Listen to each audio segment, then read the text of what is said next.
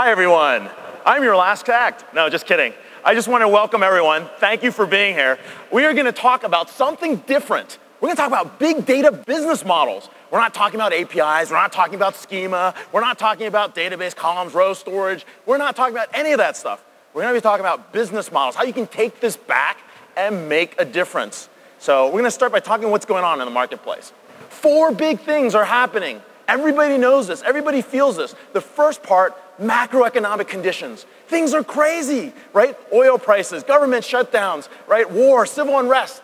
You can't control those. Just know that. You cannot control those. But there are three things that are happening that are changing the way we use data, that are changing the way our consumer lives are coming back to our personal lives. And this is what gets exciting. Think about the way you work. There are five generations of workers in every organization, from digital natives to digital immigrants. People communicate differently. They think about things differently. Where you work, when you work, how you work, even why you work, all different. And that is changing the way we use information in the workforce. That's the way we change things that we start to figure out context about people, what those relationships are like. And that's a big shift. Just think about this. A company like JetBlue, how many of you guys have heard of JetBlue? JetBlue, when you call the contact center to make a reservation, wait, there isn't a contact center. There's someone in bunny slippers and a laptop. They're connected to the internet. That's all that matters. That's what we're talking about. That's the type of shift that's happening.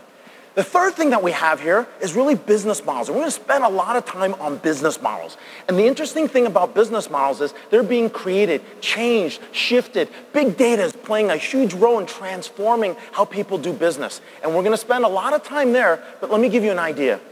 At the height of the financial crisis in 2008, what was the symbol of American might, manufacturing worth? General Motors. What was the market cap of General Motors? Anybody want to take a guess? Four billion. That was it. General Motors was four billion after all its debts, liabilities, and obligations. What was Google worth? 100 million? Anyone else? 180 billion. The answer is close. It's 167 billion. What could Google do for fun on a weekend? Buy GM and shut them down. No, buy GM and have all their cars run with Google. No, but the point being is that's what we're talking about. The shift is in the information age. The shift is in digital. This is what's happening. And the last piece is really disruptive tech, tech adoption. We've seen this everywhere. This is social, mobile, cloud, big data, unified communications, but it's not on its own. It's this convergence that's happening.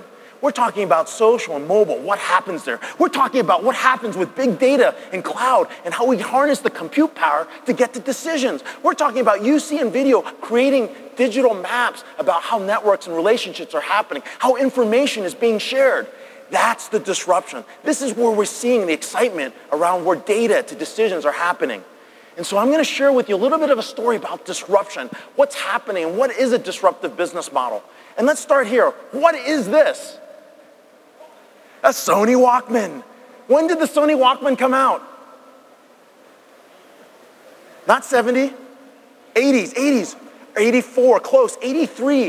In 1983, think about that, 30 years ago, that was the last innovation from Sony. 30 years ago. This was disruptive, right? I cut lawns to pay for school. This is why it was so important having a Sony Walkman, right? You got the music, it was, it was neat, it was portable. It was the beginning of that portable lifestyle, that music lifestyle. I waited four years to buy this next thing, and it was $400. I had to go to Japan. When you count quantitative easing dollars, that's $1,200, all right, after inflation. The double cassette Walkman right? This is fun. So that was their incremental innovation, right? They added another player. You could put two cassette decks in the size of one. That's what made it interesting.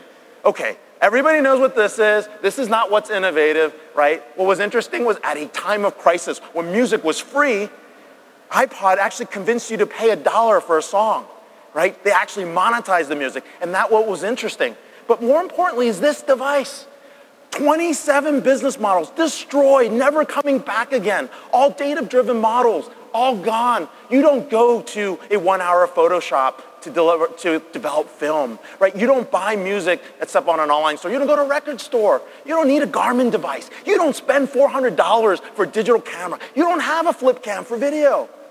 All those things are gone. Everything is here. This is the interface. This is what we start out with. And that's the disruption. Those jobs are gone forever. But think about all the things that happen now on the device. And this is the platform. This is the platform that's changing that disruption. One device can do that. And guess what? Samsung wants to be Apple. Sony wanted to be Apple. Apple became Sony. Samsung puts out a phone every 35 days. Apple does one every two years maybe. That's what we're talking about. This pace of disruption is fast. And it's going to happen more and more. And big data is going to be the weapon that gets you there. There's big data, there's small data, there's any of this. We'll talk about why. Now, the big shift here is really the shift to business models. You don't sell products anymore. People don't buy products. We did a deal for a 1,000 laptops five weeks ago. What's the winning bid for a standard PC set of laptops in the office? How many think it's worth $300? Raise your hands. $500, raise your hands, per laptop. $1,000. Okay, it's negative 100. Just wanted to trick you.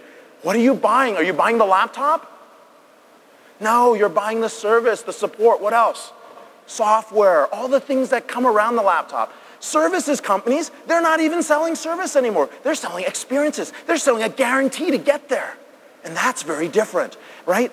And experience-based companies, they're selling peace of mind. And let me show you. So what is, and this is the important thing about business model disruption, you have to tie it back to metric. You have to tie it back to an ROI metric. What is the metric in the airline business that matters the most? Someone said safety, what else? What kind of capacity? Field capacity, what else? Arrive on time, it's revenue per passenger mile. That's all that matters. What we have on the bottom here is an Airbus A380. And in an Airbus A380, you put more butts in seats. It supports hub and spoke. You can go from San Francisco to London, Paris to New York, big kind of things. What's on top? What's the business model there? That's a Dreamliner. And when it's not on fire, no, just kidding. That's a Dreamliner. And what that does is it changes the way we fly. This is light materials. This is super fuel efficient. I can go from San Jose to Osaka. I can go from Beijing to um, Indianapolis if I want to. That's the whole point. And we're disrupting these business models. So here's what's important. Look at Siemens. They're not an engineering company anymore. They don't sell products. When you buy that machine, what is the business model here? That business model is scans. How much do I make per scan? And instead of selling you the business a, a, device for millions of dollars. They were selling you financing so you could buy it. They were selling you services that you could buy it. What you're buying now is basically peace of mind. They will keep that machine up and running for you for 99% of the time. And that might be $10 million to do that. And if you want 99.9, that's probably 15 million. The point being is they're selling you peace of mind. And what's more important is they now have data. They know that a community hospital might be doing 50 scans more than another hospital per day? Why is that? All that data is being communicated with each other. In fact, Siemens is not even even selling this. They're selling you peace of mind and then they're selling you the consulting on the data. What machine is more efficient? Why is that machine more efficient? How come an academic medical center is running less efficient than a community hospital? That's the interesting thing. Siemens is now a big data company, right? Not a manufacturer. And this is where we're changing these business models. And this is why it's so disruptive. This is why we've got to think about things differently. And when we take this business model disruption point of view, you start realizing that your data is worth so much. It's just how you use it. Disney, what do they sell? Disney doesn't sell theme park tickets. It starts when you're a kid. It's a life cycle model. What Disney is selling you today is an experience. It's peace of mind. It starts when you're a kid and you get Disney diapers and you go to the first movie and then you get the VHS if you're old enough. Then you get this Blu-ray, right? You get the DVD, and then you get the Blu-ray and then you buy it on Netflix. You buy the same freaking movie five times. But the data about the fact that you did that allows them to come back and sell it to you again when they become parents. And then when you get old, there's like a retirement community called Celebration that you might even be interested in after you take the Disney cruise. They're in the life cycle model. They're selling you from cradle to grave. And what's valuable at Disney is they're selling you that brand experience. And what's valuable? It's the big data. It's the information. It's the context. I know what your next life event is, and I'm going to target that. And you're not going to mind. You want to know it's all taken care of. And this is the power that we're talking about. This is the type of disruption that's happening in the marketplace. And what we're battling for right now isn't about who's got the coolest data, who's got the coolest brand. We're battling for wallet share. Everybody's competing. In every market you look at, there's number one, number two, maybe a number three, and everybody else. And if you are everybody else, you are looking for every angle you can to improve your margins, drive your revenue, get to the next level, come up with the new idea to get there. And that's what's powerful here. And so let's talk a little about future business models. Here's something we put into Harvard Business Review. You can look it up. It's moving from transactions to engagement. And the key thing you want to know here is that things are becoming contextual, but they can only be contextual if you've got the data. And so what's important here is we've gone from transactions, which we're tracking and automating things, to engagement. And engagement is about sensing and responding. It's about delivering information in real time. But we're going to move quickly away from that to experiential and to personal fulfillment systems like personal clouds. Someone here, we were talking about personal clouds earlier. We're getting it down to the level of context that we can personalize. And you know what's important? It's not real-time data. I don't care about real-time data. I'm swamped with information. I want right-time data.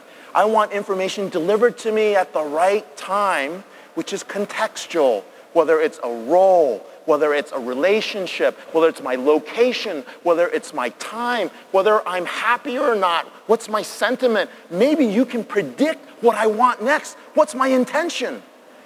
It's context. Context is king. Don't listen to those marketing guys that tell you content is. It's context.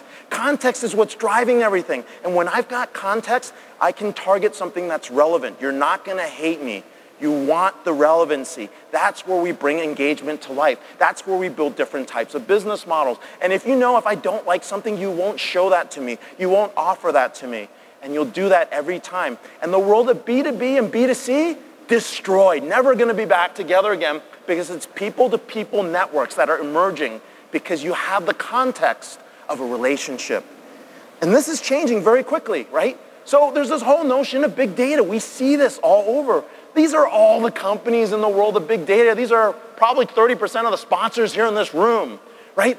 But they're data sources. They're here. Great. How do we do, what do we do with that stuff? There are all these people working on that. There are people working on how do I plumb this? This is information and orchestration.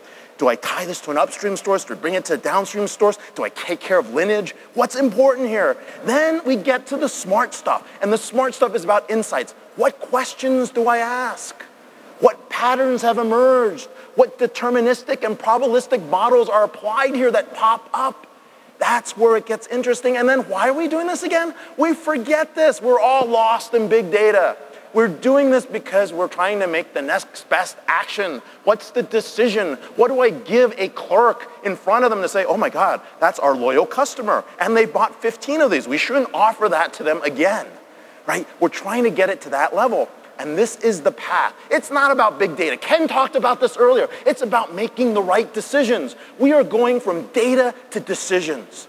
See that data? Structured, unstructured, big, lots of it, super amounts of velocity, veracity. Give me a million V's, I don't care. That's happening. People are massaging that to happen. Then I've got to tie this to upstream, downstream sources. It's got to connect to something. And once it connects, I now have information hopefully cleansed, hopefully high quality, hopefully mastered. And when it's mastered, I can create insights.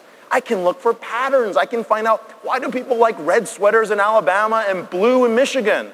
Might be the state schools. Could be. I don't know. Let's figure that out, right?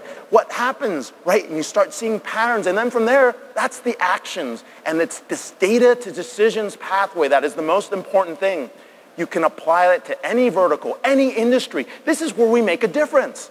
And this is why you're doing big data or analytics or predictive. I don't care what you call us. It's a data to decision pathway that we're trying to achieve. And this is why we got all these big data business models showing up. And if you go back to the handy dandy Harvard Business Review again, there's a piece we wrote on what a big data business model is. And I'm going to show you three examples of something that work right away that your clients that you can take or put to market or take to market and be successful with. The first one is information-based differentiation. How many guys use Google Maps? That's everybody, all right? We're here in the Bay Area. Google Maps, how many use it with Google with traffic? You guys love that? You can do the bypass, you notice it's red, it's not moving, you'll take the surface streets, everybody else is doing that too, so it's blocked. But it's happening real time and you're watching that work. So differentiation happens in a couple ways. When we talk about sensor and analytical ecosystems, one of our analysts, Joseph DiPaolantonio, is looking at this. And if my car is connected to my gas tank, which is connected to my phone, which is linked up to the Google map, which is linked up to an ad network, something interesting happens. I might pay a dollar a month for an app that allows me to surface up all the gas stations when I'm out of gas. Right? That's awesome. I'll pay a dollar. But guess what? The gas station might pay $5,000 a month to you to put an offer for a hot dog and a Coke and a fill up to the person nearest that's out of gas. And that's what the business model is. You're happy, you're excited, it's a brand new service. Did you do anything different? No, the data was in front of you. You just made it available. You provided context. It was relevant. And I want that, and I'll pay for that. That's what we're trying to get to. And it's so simple. It already happens today. Think about UPS and FedEx with tracking a package. The data was there anyways. Now we're like, it's on the dock. It's left the dock. It's moving on the truck, right? It's gone to the facility. It's moved from the facility onto the plane right? Did you really need that much info? Maybe. Maybe we're all anal. Maybe we like that level of detail, but that is a differentiator. I'm excited. I know where my package is. Now, if they could allow me to intercept the truck on Waze and get there before 4 p.m., cut them off at 11, I'll pay another $5 for that service. You see how this works? Information-based differentiation. It's simple. Don't think big. Don't try to carve out the world. There is so much money to be made here on these business models. Now, the second one is interesting. We're all in the cloud. We're looking at information brokering, right? This is benchmarking data. This is sharing sets of information, aggregate information, privacy. I'm a big privacy freak, so make sure that you're following the privacy rules. These are all opt-in. But I got aggregated sets of information, government data, bringing that all together. Now, if I know a bushel of wheat, I don't know the prices right now, but I assume it's about $25 a bushel, and I know that there are thousands of containers in Oakland coming back from China empty, and I know that wheat prices could be high in some area because of a drought, I'll pay you $50,000 a month for that data because I'm going to arbitrage the crap out of this thing. Because I'm going to figure out it's $50 a bushel in Turkmenistan, fine, and it's 23 here and it cost me $5 to move that on the, on the boat. Wow, I'm in. I will pay you for that data. And you know what? The people with the boats have no clue that data is worth something. The people that's telling you how much a bushel of wheat is have no clue how much that's worth it. It's these brokerages that are going to happen, right? Take that data, combine it with something, push a button, find out the insights, figure out what's next. These are complete awesome business opportunities for any startup here. How do you get there? How do you make this happen? The data is there and all this, uh, all this effort to create free information and Gov 2.0 and open data problems they're happening right now. You've got to take advantage of them. Now, the last one is a little bit difficult. And why this is difficult is because it's a network model. These information-based business platforms come down to something. I'll make it really simple for you. And I'm going to ask you this question. How many vendors can deliver from cloud to device in the world? How many people own the network? Name out the names. Google. Which one? Apple. Who else? Amazon. Who else? Which one? Microsoft. That's it. That's the four. You are either the network, the content, or an arms dealer. And I'll tell you right now, you are not the network. And no telco is the network. They're going to come kill me later. But they are not the network. They've missed the boat again. Okay? Here's why. If I can go from cloud to device, I now own the whole interaction between you and something else. And when I own that network, you quickly realize that your content, which is the information we're going to broker, or something differentiated, you might aggregate content like Viacom does today with TV channels. But there's going to be aggregation, there's going to be contextual aggregation, there's going to be ad networks, there's going to be deal rooms, there's going to be all these things that pop up because we aggregate this information. And even more importantly, there are going to be companies that are arms dealers that are just helping enable that. If you're in this room as a vendor or startup, you've got to figure that out real quick. And now you can start figuring out who you partner with to deliver on this. You have to be on one of these networks if you're going to win. And I, I, will, I wouldn't bet on a startup that's not on one of these networks or has a deal with one of these companies because that's where the future of these big data business models are going. Some might say Facebook, but arguably no. Until they own that complete channel from cloud content to your network in your hand, they're not going to be able to play in that space. They have a lot of content and they can play in a lot of networks. They can make a ton of money, but they're a content player. They're not a network play. And that's what's important. So you take these three models and you can expand it even more. Connected worlds and collaboration. All these things about the future of work in different rooms. Think about this. We talked about five generations of workers. People are working from home. How many of you guys worked from home seven years ago? How many work from home today? That's a little bit better. It's about half the room. But that's the point, right? we're changing the way we work. And so how we connect in, some of us are part-time workers, some of us are full-time. Given the current healthcare state, we could all be part-time workers. But what does that mean? We're connecting into different rooms. We're going to co-working, co-location spaces. And this connectivity is actually creating new models. Think about companies like oDesk. They're brokering against the data of who's available, who's trained, how to connect them into different areas, pop them into a virtual office. Now you've got projects, and basically businesses are project-based. And we're seeing that right now, and that's a big disruption. What I want now, I want to know who you are. I want trust and transparency. I want to know your reputation. There are going to be trust agents that emerge, and these trust agents are going to be the ones that then say, oh yeah, this guy is definitely certified in Java, but you know what? Don't rent him a car, he'll destroy it right? This guy completely gets, you know, how to program and how to run a Hadoop instance and do an HDFS file. Perfect.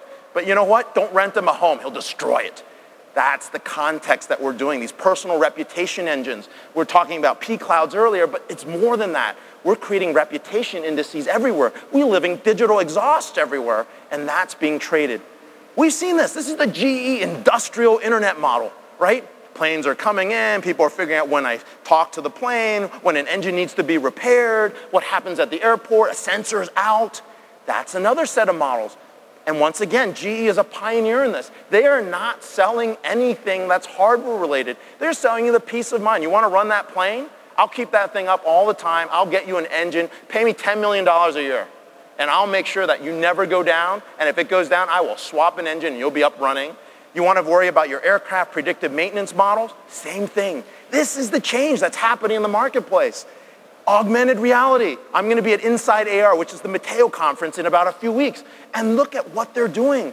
Companies that are in the AR field, they're creating brand new models. This is information experience. It's more than Google Glass. It's going to happen at the chip level. It's going to be embedded in every device. And when it's in the device, now we're surfing interesting models. I'm a real estate agent. You guys have all probably seen the old Layar model where you see the real estate agent. Someone's in Copenhagen, someone's in Amsterdam, and they're trying to figure out which home is for sale. Information pops up, school information pops up as a layer, crime statistics. You get information all around you that's being surfaced up. That's not just advertising. This is, this is curated content that people are willing to pay for. That's a very, very different kind of model when we look at this.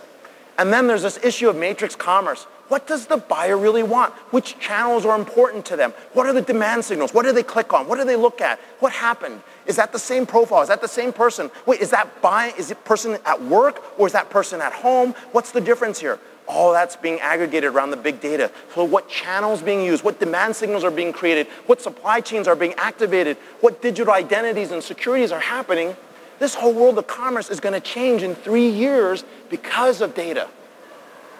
All right, where do we go with this? Other than I got 55 seconds to talk really, really fast. No, that's not the case. Let me talk about where you are. Think about your organizational DNA. This is the most important thing because this is going to dictate how fast you're going to move. And if you are a market leader, which is you are transformational and you are proactive, that's 5% of the world. Okay? That means you're ready to go, you're moving already, you're doing some big data project, you're ready to go first. There's only 5% of you. If you're a fast follower, you're reactive. You're saying, I'm not gonna go until the leader moves. Think about Panasonic. They are not a fast follower. They're not a market leader in anything that I can think of, right? But you know what? They're still around. They make more money than Sony, and they move just as quick. If Sony launched something, two months later, they had something else. That's what I'm talking about as a fast follower. That's 15% of the market, and you can do really well. And fast followers are like, can I do it faster, better, cheaper than anybody else? Now, when we look at the next set, these are laggards. Most people are laggards. That's 50% of the market. You know you're a laggard when you talk to a reference and you're done, and then you go talk to another reference, and then you have to maybe do a, point, a POC, let's do a proof of concept, and then somebody else is like, oh, no, no, no, you gotta do an ROI study. Good God, by the time you're done, the competitor's already kicked your butt, all right? But you're a laggard, and most companies are laggards, and we get it, right? Something has to happen. A year later, you make the decision, everybody's already moved, right? That's how you know you're a laggard, or cautious adopter, sorry. Now, the laggards are very interesting because laggards just don't care. Laggards like, whatever, you know, unless there's a merger, unless there's a change, unless we go bankrupt, we're not moving. Things are still the same. And that's 30% of the population. And what's important here is the cautious adopters know they gotta move, they just move really slow. The laggards don't care. So laggards become fast followers very quickly when something cataclysmic happens. New management, new CEO, buyout. That's when laggards take action and become fast followers. And this is important.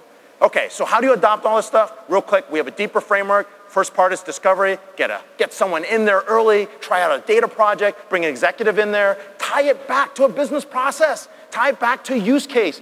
Ken gave you a million use cases to look at. Tie it back to use case so you'll be successful. Because if you don't measure it, you don't know if this project's gonna succeed. You need metrics that matter. Once you do that, evangelize it, get it everywhere. Put it everywhere inside the organization. You might find out there are 15 projects going on, but that's okay. Talk it out. And once you've done that, it becomes pervasive, right? It's now there. And you know what? It's not a real project unless you get funding. And that funding happens because you have an executive sponsor, which is in D, in discovery. That happens because metrics are there and you are following a business process that you are impacting. That's actually E. And then what happens is because you've worked with all the teams and you made it in a department, you moved it to a division, you got it inside the company, you got your suppliers and partners do it, you've moved this thing across the life cycle. That's why it's in the budget. That's how you get it to P. And then realization, that's fun you now have this, you're figuring out what technologies, what tools, what processes you're not going to do. Because the most important thing in strategy is knowing what you're not going to do. That is harder than figuring out what you're going to do, and you now are in a position to do that, and you'll be successful. All right, how do you pitch this stuff? I'm going to give you five ways how you can pitch a project inside your organization and get funding. The bottom one is the best. Don't get killed, don't get sued, and don't get fired. Right? That's regulatory compliance. Every CFO will sign up. So scare the crap out of the CFO and you'll have a project. All right, um, there's operational efficiency. Every dollar I spend is, a dollar, is $3 I save. There's growth. Every dollar I spend is $3 I make. And then there's strategic differentiation. And those were where the business models were. You're ready to change, you're a fast follower or market leader, you will go after strategic differentiation. You will use big data as your weapon. You will trade your data to fund a project. That's how you know you're ready for strategic differentiation. The bottom stuff anybody can do. I can scare any CFO into something. I'll find some regulation that they don't know about, right? But when you're really strategic, it's differentiation. And when you tie that back to your brand value, that's when you're going to be successful. All right, how do you do this? Figure out who the heck you are as a company. Know that organizational persona. Know it well. Once you do that, begin with the end in mind. Remember Stephen Covey? Seven Habits of Highly Effective People. If you're a consultant, you have five copies in paperback. Anyways, seven habits of highly effective people. Begin with the end in mind. Once you have that, what's that path look like? These are the journey maps. I don't care if it's an employee journey map, supplier journey map, customer journey map. You are making process swim lanes. You're trying to figure out where can I impact the organization. Figure out what data is important. That's the data you want to work with. Hint, it's the one you have, not the one you want. Please work with the stuff you have already. And then the free stuff. And then if you have other things you want to pay, you pay for it because it's highly curated, it's high quality, and it's going to add a lot of value. And then test out different architectures. There's all this stuff out there. It's time to experiment to be successful. And then you start figuring out patterns. These are the patterns that you start saying, now I get it. I understand why people are buying these things. I understand what's moving a market. I see patterns emerging. I want to test those patterns. Fail fast. And last thing, data quality, MDM, all this stuff in governance, they will come at a later point in time. But if you don't get that right, you are going to fail. And you have to make sure that happens.